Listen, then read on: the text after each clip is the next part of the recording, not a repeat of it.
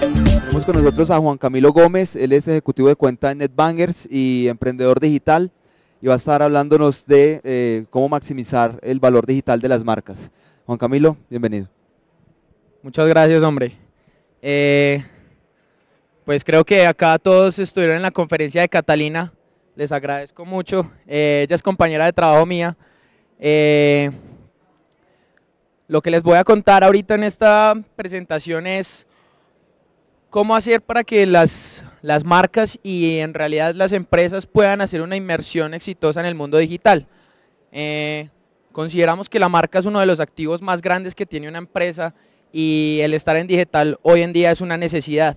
Entonces, mi, conferencia va a tratar de darles unas pautas muy sencillas de cómo hacer esa inmersión en la parte digital y que lo puedan hacer eh, y que puedan hacer de forma exitosa el contacto con los clientes. Ok.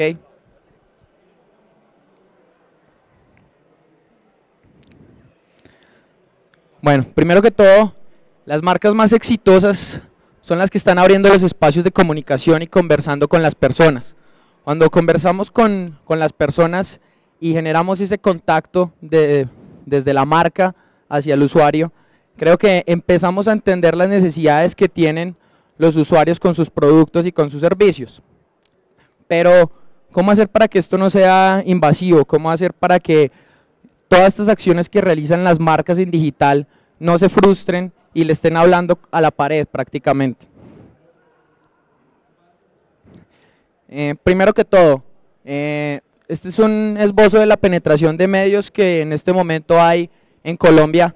el 95% estamos hablando de televisión, 67 radios, 63 revistas y eh, otros medios. Internet hoy está por cerca del 68%. Quiere decir eso entonces que hoy en día Internet en Colombia es el segundo medio de penetración para que las marcas puedan mostrar sus servicios, mostrar lo que hacen y creo que sin duda es un medio que no ha parado de crecer y que las marcas se tienen que replantear si deben o no estar allí. Este es otro indicador importante y es la pregunta, ¿hace cuánto utilizaste Internet? Ayer el 68%. Quiere decir eso que si nosotros tenemos una penetración importante de Internet en Colombia que hoy rodea un tercio de la población, eh, el 68% lo visitó ayer, pues creo que es un medio apenas idóneo para que las empresas estén allí. Y este es un panorama de la evolución de los medios. Podemos ver entonces que... Un segundo. Vemos aquí entonces cómo Internet desde 2007 ha tenido un crecimiento sostenido. Eh, los medios tradicionales como radio, revistas, diarios y demás han estado más o menos a la baja y el único que se ha mantenido es televisión. Esto nos cuestiona mucho sobre qué debemos hacer entonces en Internet y qué debemos hacer como marca para llegar a nuestros clientes. La pregunta es, ¿En dónde debemos entonces invertir nuestro presupuesto de marketing? Con una penetración de ese tipo y con una evolución en un medio masivo como es Internet, si nos hacemos esta pregunta, para mí indudablemente la respuesta tiene que ser Internet. El marketing digital es un reto que hoy en día todas las empresas deben afrontar, pero la gran pregunta es cómo hacerlo y no entrar por entrar en digital. Todas las, empresas en algún momento dicen, eh, tengo que estar en digital, creo que es un boom, tengo que hacer algo en Facebook, tengo que hacer algo en Twitter o demás. La idea es que no lo hagamos pensando en la herramienta, sino que esa inmersión en digital tiene que tener un propósito estratégico y aparte tiene que encontrar los canales idóneos para estar allí. No se trata de estar en cada uno por estar. La peor razón que tiene una empresa para entrar en digital es eso mismo, creer que la competencia entró primero y entonces yo también debo estar allí. Creo que es la peor razón porque primero lo a hacer como una estrategia más bien reactiva y no más propositiva y estratégica con respecto a lo que tú quieres. Entonces es como una recomendación. Lo peor para estar allí es creer que tu competencia ya está allí, entonces debo hacer algo para contrarrestarlo. Esto es importante. Si quitamos Facebook, si quitamos Twitter, si quitamos YouTube del escenario digital, va a seguir existiendo el marketing digital, porque no se trata de los medios, no se trata de esa plataforma en especial, se trata de cómo las personas se están comunicando en Internet y cómo a través de la Internet podemos darle experiencias y darles contenido que pueda ser relevante para ellos y cómo las marcas se acercan a, a los clientes.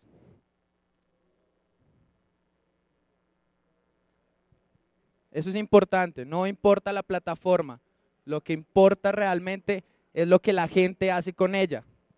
¿Qué hace la gente en Facebook? Comparte. ¿Qué hace la gente en Facebook? Socializa. ¿Qué hace la gente en Twitter? Ser práctica, compartir links, compartir información muy concreta. ¿Qué hace la gente en Pinterest? La gente en Pinterest lo que hace es mostrar cosas de una forma muy sencilla. La gente es muy visual. De hecho, cerca del 70% de la gente que usa Pinterest, eh, de las personas que usan Pinterest son mujeres, porque son personas mucho más visuales. Eh, creo que acá el resumen es que no importa, no importa el medio, puede ser cualquier red social, lo que hay que entender es qué está haciendo cada persona en esa red social y cómo la utilizamos para poder conectarnos con ellos y empezarles a hablar.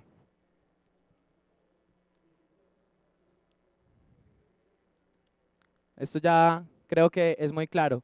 Lo que es realmente importante acá son las personas y cómo vamos a empezar a hablar con ellas. Las marcas, vamos a pasar a un tema, es cómo abordarlo. Las marcas siempre se preguntan cómo llegar a este nuevo medio, qué debo hacer, qué debo decir, en qué momento, cuándo es idóneo, cuándo voy a encontrar un momento propicio para interrumpir al cliente y decirle, hey, cómprame o conóceme o demás. Eh, Seth Godin habla de un momento fundamental en el marketing que es el interruption marketing. Cuando hablamos de interruption marketing es que las empresas y las marcas en algún momento lo que tienen que hacer es interrumpir lo que normalmente está haciendo un usuario. Entonces, puedes estar viendo televisión o puedes estar, bien, estar en internet o demás, sale un anuncio que es bastante molesto y luego se va. Pero tienes un pequeño momento para captar la atención del usuario en cualquiera de los medios. Eso es algo de la teoría del interruption marketing. Inevitablemente tienes que interrumpir a tu, en algún momento eh, la atención de tu, de tu usuario para decir, hey, ven, conóceme, o tener algún tipo de experiencia que pueda ser lo suficientemente creativa o divertida para que digan, hey, esta gente está hablando cosas chéveres. Entonces, eh, Creo que eso es fundamental y hay que hacerlo bien. No se trata de que eh, podamos, podamos con, con medios tradicionales y bombardear por bombardear llegar al cliente, sino que debemos pensar en cómo de una manera estratégica, divertida, chistosa o un momento idóneo, poder interrumpirlos y contarles el cuento que yo quiero. Entonces hay preguntas como, ¿debo entonces abrir un fanpage? ¿O debo abrir un perfil de Twitter? o en qué redes sociales debo estar, qué digo. Los clientes están ahí, pero entonces, ¿cómo me conecto con ellos? Para mí la mejor forma de responder a todas estas preguntas es, ¿qué puedo entonces hacer por mis clientes y cómo hago cosas juntos? ¿Por qué? Porque la idea es involucrarlos. No se trata de que, de que empecemos a decirles cómo quiero, las empresas por lo general piensan, ¿qué debo hacer con mis, qué hacer con mis clientes? ¿Cómo hago para que me compren? ¿Cómo hago para que, para que me visiten? ¿Cómo hago para hacer un website, la locura para que vengan? No, yo creo que la pregunta ahí es mucho más allá. ¿Qué puedo hacer por ellos y qué pueden ellos hacer por mí? Y cómo hacer una construcción colectiva.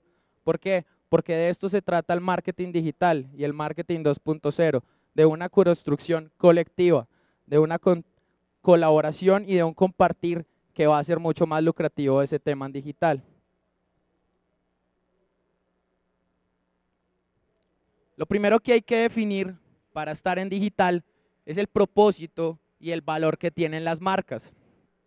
Eh, yo hago una pregunta. Cuando tú estás en el negocio de las tejas, ¿qué es lo que estás vendiendo? Mucha gente podría contestar, pues no sé, estás vendiendo tejas, las estás vendiendo de estos y estos materiales.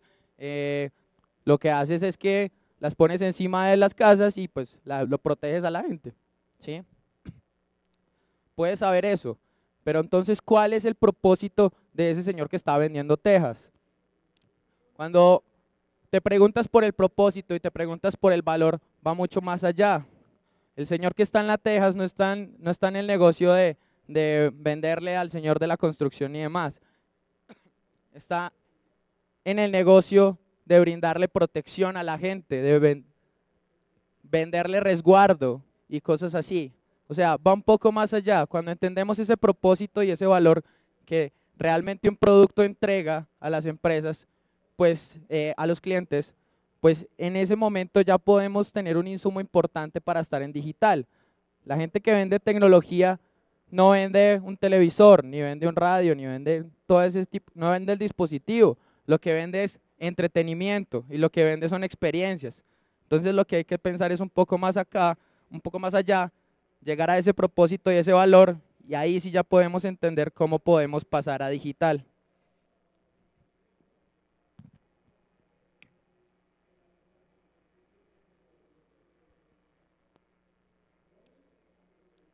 Una vez que tenemos eso claro, podemos entonces empezar.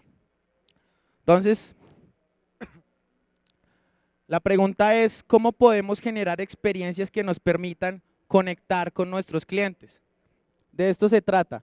No se la gente trata muchas veces el marketing digital por la herramienta. Entonces no se trata de hacer una estrategia de marketing de celulares o una estrategia de marketing del website o una estrategia de redes sociales. Eso no se puede quedar ahí. Creo que esa es una visión muy limitada del marketing digital. Cuando nosotros hablamos de marketing digital, lo que estamos pensando es cómo me puedo conectar con ellos, cómo puedo echarles el cuento, que se entretengan conmigo usando los medios digitales. Entonces, eh, creo que el modelo, este modelo integral, yo creo que, que resume el cómo deberíamos eh, hacer esa inmersión en digital y que las empresas empiecen a entender eh, qué deben hacer en este medio. Acá tenemos varios puntos y es, primero, generar una estrategia interactiva. ¿Cómo, cómo, cómo pues, ponemos, ¿Cómo ponemos a hablar a la gente? Eh, ¿Qué diseño y qué desarrollo debemos hacer para llegar a esas personas?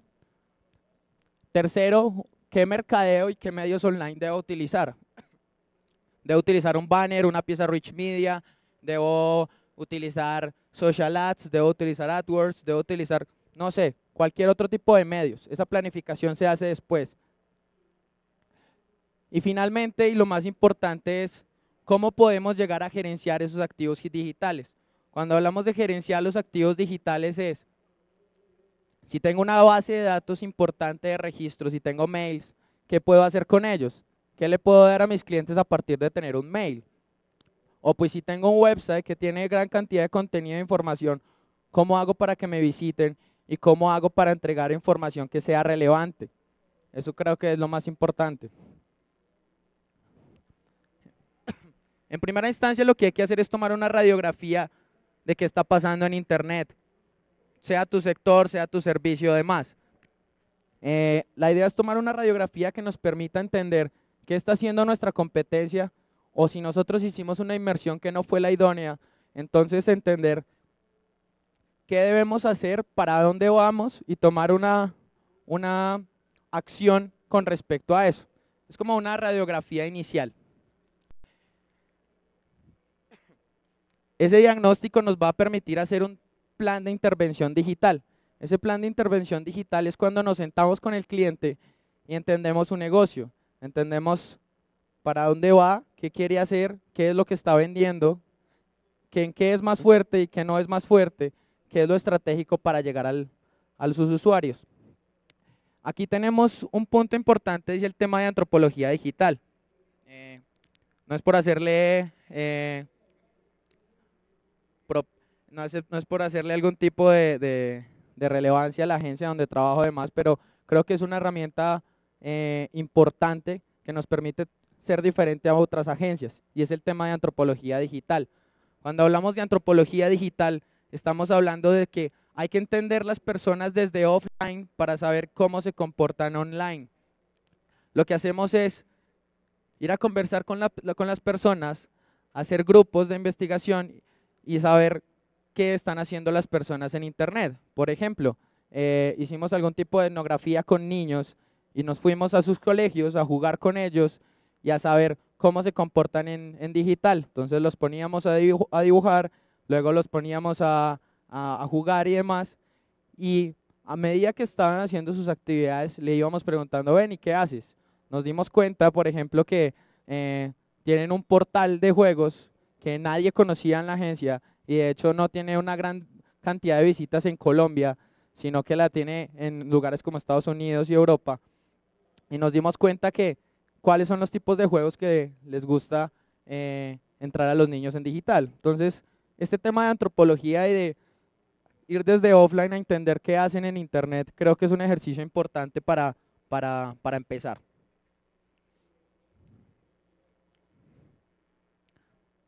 Hay unas imágenes que eh, de un tema de intervención digital que hicimos con Alpina. Eh, nos sentamos con ellos a, mirar para dónde iban y qué estrategias se deberían de tomar con cada una de sus marcas en digital y que esto no chocara con la estrategia de, cada una de las, de las marcas y que no se pisaran las mangueras entre sí, por decirlo. Eh, creo que estos espacios son muy lucrativos para empezar a realizar esa inversión en digital. Luego pasamos al tema de diseño y experiencia. Entonces, una vez entendemos dónde está el negocio, para dónde va, lo que hacemos es empezar a pensar qué es estratégico. Entonces, es estratégico que primero esté en redes sociales, eh, que tenga un perfil en, Facebook o tenga un perfil en Twitter, o más bien le pongo la mano a mi, a mi website y desde ahí empiezo a ver cómo empiezo a construir una comunidad o empiezo a conectarme con mis clientes. No sé si hayan eh, escuchado hablar del 360 digital. Creo que es algo que pues para mí está un poco trillado y un poco clichésudo. ¿Por qué? Eh, para mí se ha desmitificado un poco el tema de que el corazón de la estrategia digital es el website. ¿Por qué las personas, muchas de las personas que están en digital dicen que la estrategia debe centrarse en el website? ¿Por qué? Pues porque en el website puedes poner tus propias reglas, haces lo que tú quieres, posteas lo que tú quieres, no tienes restricción de ningún tipo y demás. Creo que ahí hay unos argumentos muy válidos y yo sigo creyendo que el corazón de la estrategia también puede ser el website.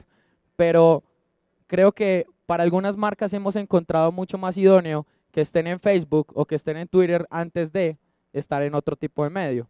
Entonces, todo depende de cada cliente, hay que analizarlo muy bien y entender para dónde van y en qué medio deben centrar su estrategia. No se trata solamente implementar un 360 digital y es tener un punto en el centro y empezar a rodear de medios para que vayan a un solo punto.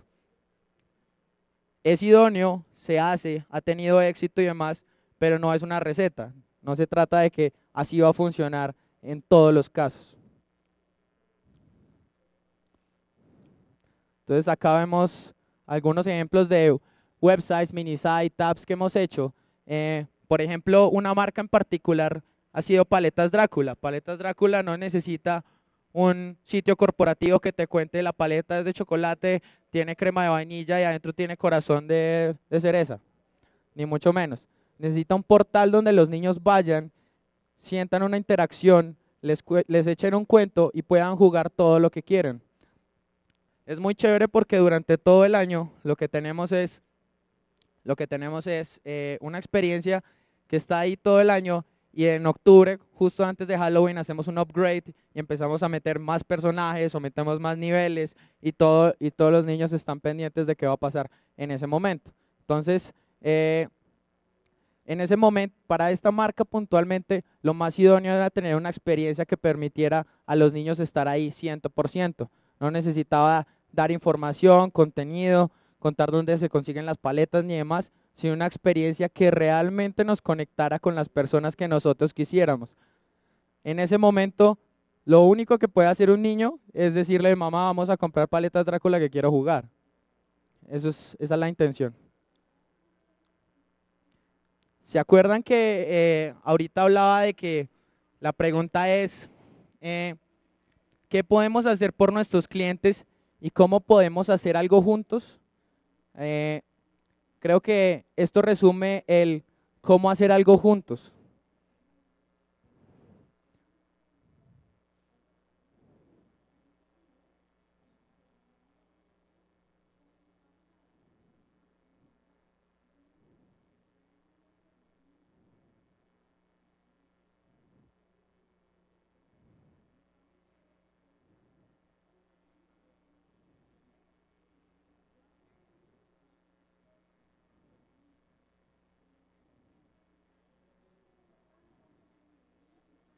Bueno, no sé por qué no está funcionando ahí el video. Bueno, ya empezó a funcionar.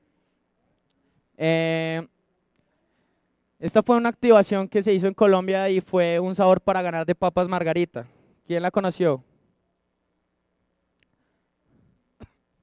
Este es el ejemplo más claro de que se puede construir cosas juntos.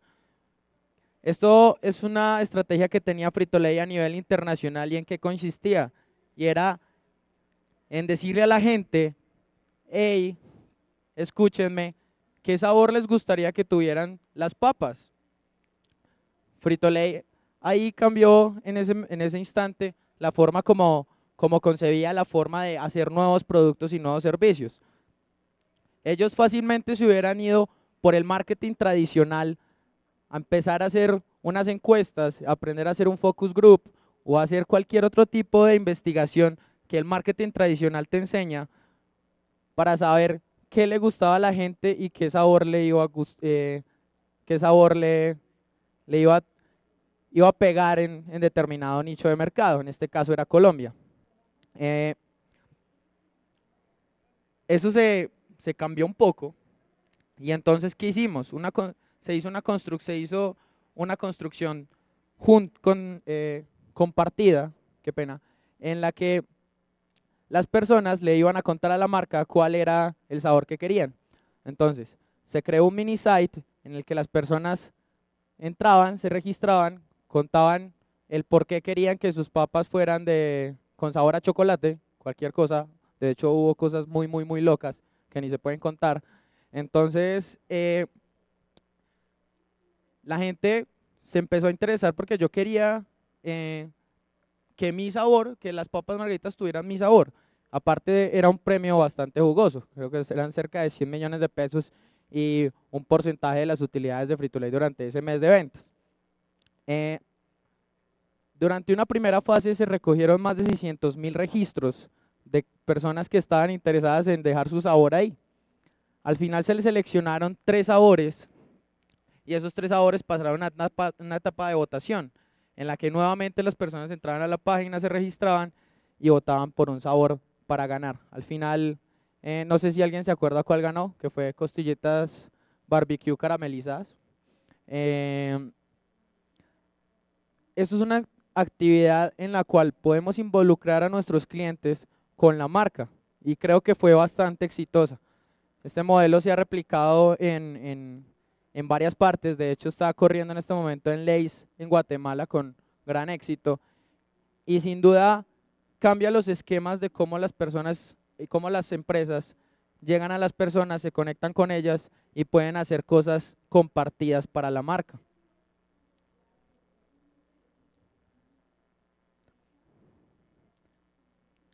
Este es un viral que se hizo para redes sociales. Esto fue el lanzamiento de Xbox Kinect en Colombia Queríamos que fuera algo que se compartiera demasiado, un contenido muy digerible, muy divertido, entretenido. En, este caso el concepto creativo es el mago tratando, de subiendo el, coche, pero al final, al final es una gran metida y el, el copy final era eh, no creas en magia, la única magia la puedes hacer es con Xbox Kinect. Eh, creo que este fue un caso en el que, en el que se definió muy bien qué era lo que quería la marca. Era poner en boca de todos el lanzamiento de, de Xbox Kinect y en ese momento el medio o el sitio más idóneo en donde estar no era un website, ni, ni era un banner, ni más. Fue crear un contenido muy específico que toda la gente dijera, me gusta, lo voy a compartir. Eso es lo más, eso fue lo más importante en ese sentido. Eh, esto fue también para un sabor para ganar. Y fue... No sé si se está moviendo. Bueno. Lo que se dijo fue que no era estratégico realizar una aplicación mobile, sino que lo que pensamos acá que era estratégico era tener una adaptación móvil. ¿En qué consiste? Que puedas tener una experiencia igual o por lo menos muy similar como si estuvieras enfrente del computador. Entonces las personas entraban a un ganar.com y tenían una experiencia muy parecida en la cual se podían subir su foto, contar su historia, ver los términos y condiciones, eh, cuáles eran las últimas novedades de la promoción y demás. Este contenido adaptable hace que sea mucho más rápido, mucho más digerible para las personas eh, tener la experiencia dentro del site. Yo creo que algunos se han metido desde su smartphone a una página de internet y es terrible tener que empezar a ampliar y, pasar de lado a lado y demás. Creo que eh, en algunos, no, no, en todas las, no en todos los websites, depende de la marca o de lo que estés realizando, o campaña publicitaria o promociones, etcétera. Creo que es estratégico tenerlo. ¿Por qué? Porque no queremos que nuestro cliente llegue, vea algo que no, que no le llene sus expectativas o que le dé mucha pereza navegarlo y se vaya. Entonces creo que aquí fue importante y logramos capturar una gran cantidad de registros también desde mobile.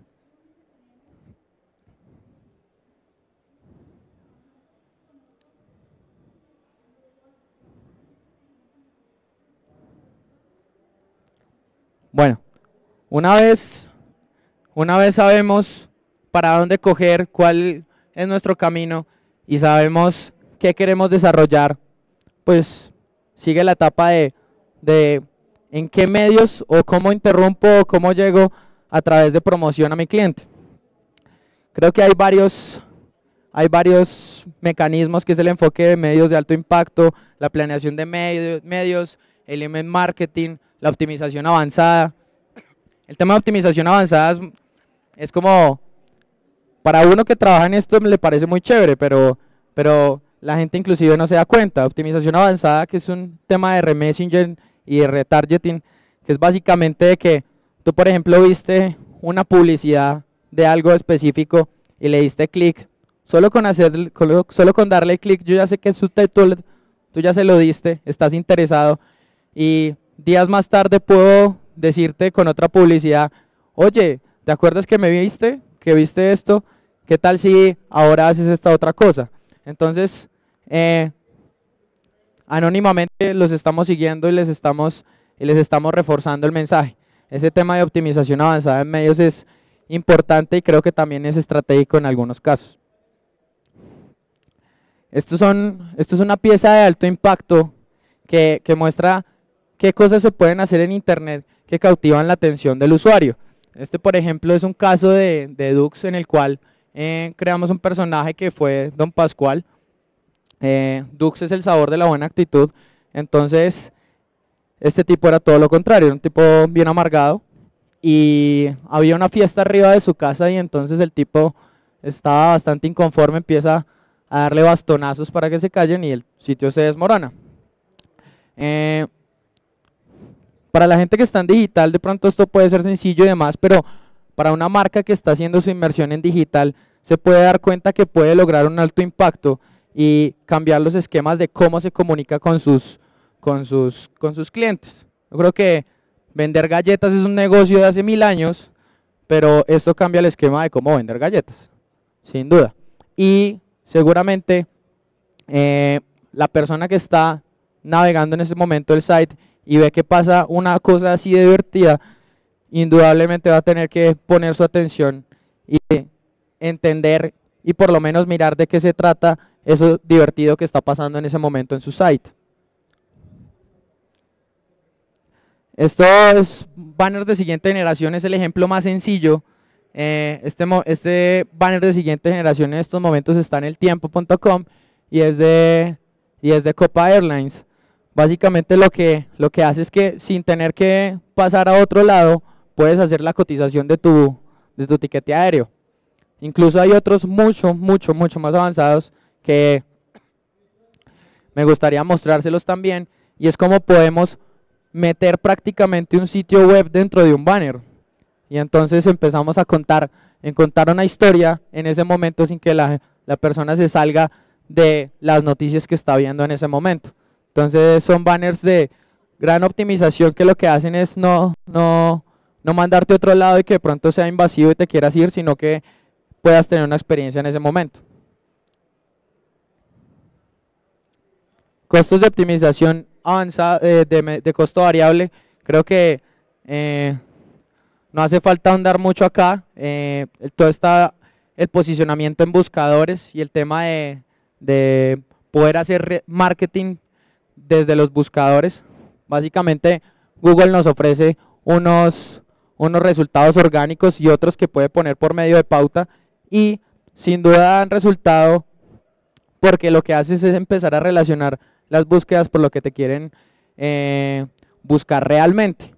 Cuando, cuando tú te metes a, cuando tú te metes a Google no buscas eh, no sé, no buscas eh, pastas Doria, lo que buscas es recetas de pastas o cómo hacer una lasaña o cómo hacer cualquier cosa. Entonces creo que esta relación lo que hace es llegar realmente a lo que está buscando la persona y asociar eso con tu marca.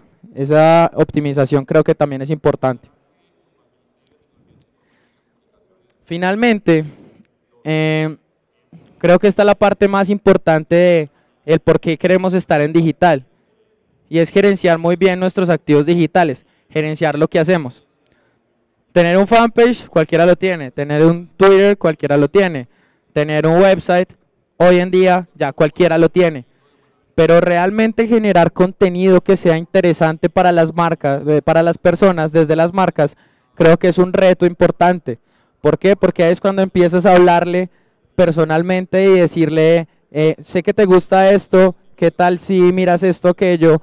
O empiezas a contarle un cuento con el cual se pueda enganchar y quedar contigo.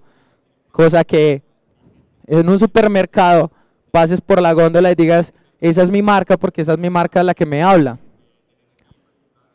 Este es un caso, este es un caso,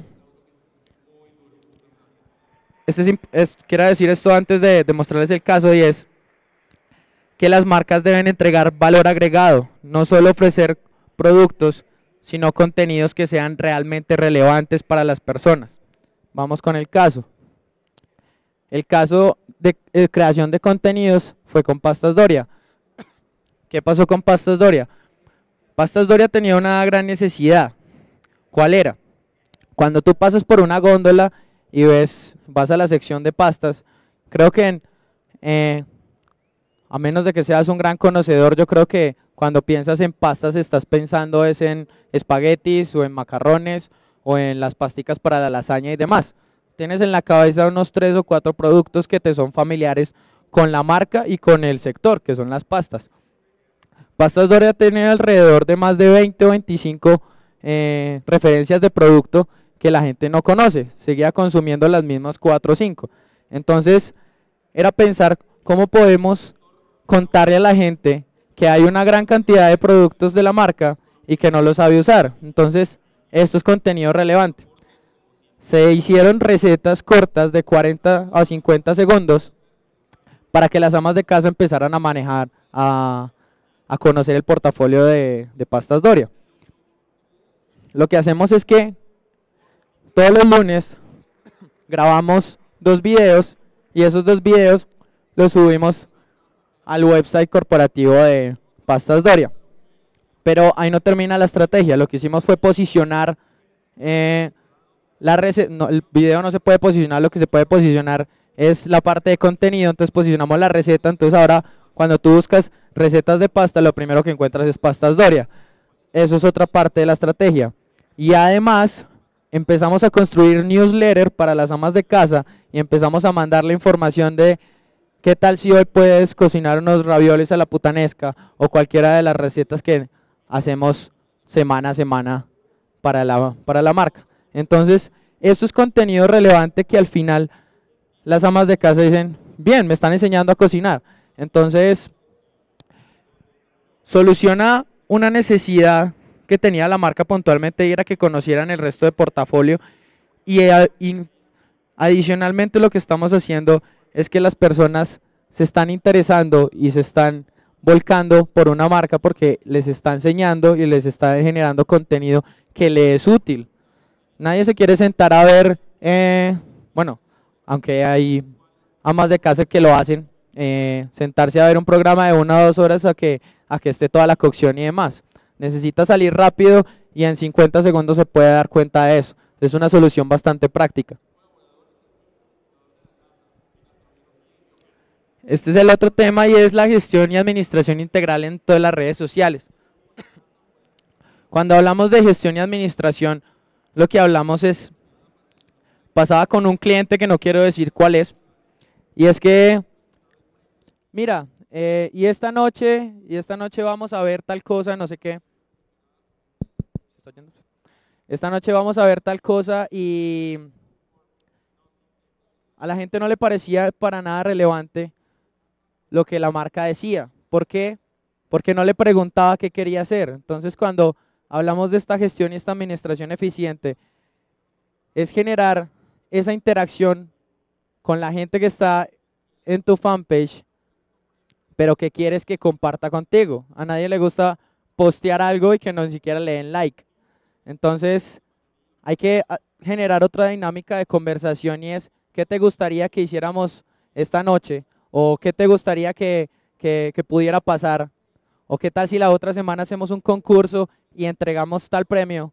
Entonces cuando empiezas a generar post y empiezas a generar contenido que hace que la gente inevitablemente tenga que interactuar contigo, la cosa cambia.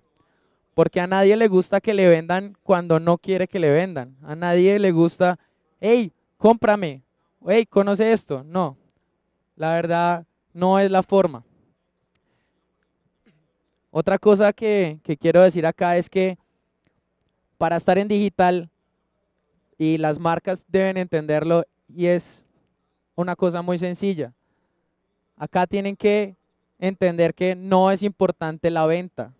La venta es importante y, sin dudamente, sin duda, y es la idea es llegar a ella, ¿sí? Pero creo que es más importante una recomendación que una venta. Entonces,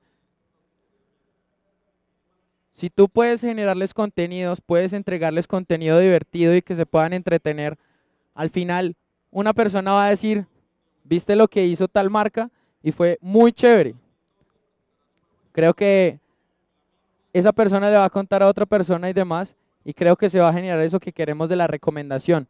Creo que la recomendación aquí es mucho más importante que una persona vaya y te compre un solo producto.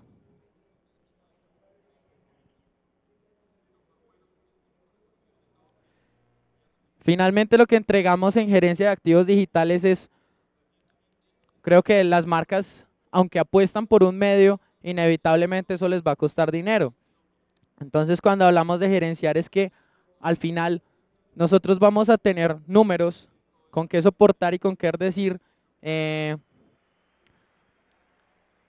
el retorno sobre la inversión que estás haciendo, sin duda está dando lo que tú quieres, porque hoy invertiste tantos Hoy invertiste tanto dinero, pero tuvimos tantas ventas. O invertiste tanto dinero, pero tenemos tantos registros. Y con esos registros podemos volver a hacer otra actividad.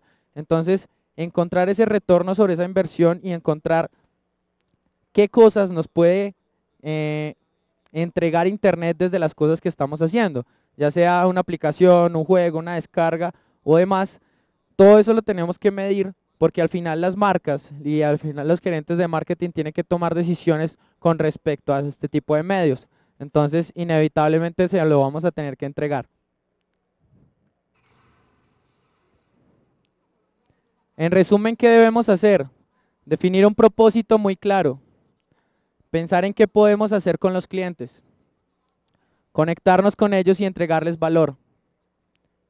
Y sobre todo escucharlos, porque aquí está lo que dice valor eh, la teoría del valor compartido, que la dijo hace algunos años Michael Porter. Y es que absolutamente todas las empresas en el nuevo siglo y eh, en la nueva era tienen que construir sus productos a partir de lo que se haga con los clientes, con las personas. Es un cambio de, chip que antes te decía el capitalismo de es eh, vete a investigar, cuenta, cuenta, vete a investigar, ten indicios de que puede tener las eh, de que puede gustarle a las personas y al final desarrollar un producto y demás. No, creo que eh, esto es otro cambio, un cambio de chip en el marketing y es que al final los productos también los pueden hacer las personas y los servicios que quieren las, eh, desarrollar las marcas pueden construirlos en conjunto con las personas. No hay por qué tener miedo, arriesgarse hace parte de la receta para conseguir resultados.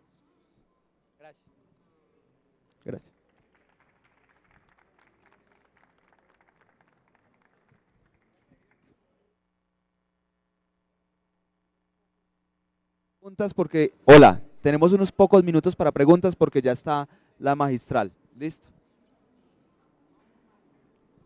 Eh, buenas. Eh, en el caso de Papas Margarita, eh, cuando empezaron a trabajar, a investigar con las personas, le tengo dos preguntas a nivel de, de investigación de mercados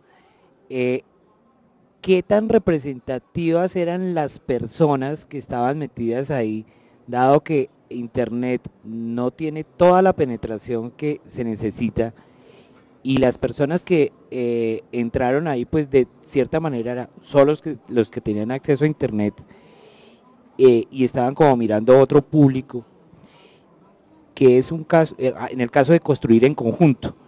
Y la segunda pregunta está muy relacionada es en el caso de Doria con las amas de casa. Eh, las investigaciones dan que las amas de casa no son usuarias eh, recurrentes de Internet y eso podría estar afectando los resultados. ¿Qué impacto tiene en estos momentos el hecho de que esa penetración de Internet esté, eh, las campañas que uno haga con la baja penetración a ciertos segmentos pues haga que una campaña se vaya para abajo y diga mentiras. Bueno, lo más importante acá es un poco el hecho de que, de que la penetración es baja o la gente no se mete o qué tal si hago algo para tal nicho y no pasa. Sí pasa. Pero ¿qué pasa en términos generales? Que digital no puede ser una apuesta a corto y a mediano plazo. Cuando, cuando pensamos que, la, que queremos ventas ya, si queremos ventas ya, es probablemente que te vayas a, la esquina y hagas BTL y entregues volantes. ¿Sí? Esto es una apuesta. Eh, cuando hablamos de un caso particular de un sabor para ganar, si al final hablamos de que 600 mil personas nos dejaron su correo electrónico ahí, yo tengo en Colombia una penetración de cerca de 12 millones de internautas en este momento. Si esos 12 millones de personas, 600 mil, me, me dejan su correo electrónico, es probable que cuando a mí se me vuelva a ocurrir hacer otra actividad, tenga 600 mil personas de base para echarles el cuento y decirles, ven, estoy haciendo algo nuevo. Yo creo que eso es un activo que ineludiblemente significa mucho para una marca porque le puede hablar personalmente a ella y puede empezar a generar ese contacto que es el correo electrónico y decirle, mira, estoy haciendo algo nuevo. Eh, eso con respecto al caso de Papas Margarita. Con respecto al caso de, papa, de, de pastas Doria, en los analíticos que nosotros hicimos, que nosotros tenemos, por la mañana, cerca de entre las 9 y las 11 de la mañana, la gente es donde más está viendo recetas. Ineludiblemente hay visitas. En este momento no sé un dato particular porque esas, esas, analíticas no las tengo en mi cabeza, pero estamos hablando de que son más de mil o dos mil personas viendo las recetas. Tú te puedes meter a Google inclusive los views, entonces ves 800, 800 vistas, 900 páginas vistas, 1000 vistas. Para una receta, pues creo que, creo que vale la pena empezar a creer en ese contenido para que más adelante eh, Pastas Doria sea un referente de los que primero empezaron a hacer este tema en internet. Yo creo que eh, si empezamos a pensar en digital y en el medio más como una apuesta eh, que como algo, como una solución inmediata, creo que lo logramos.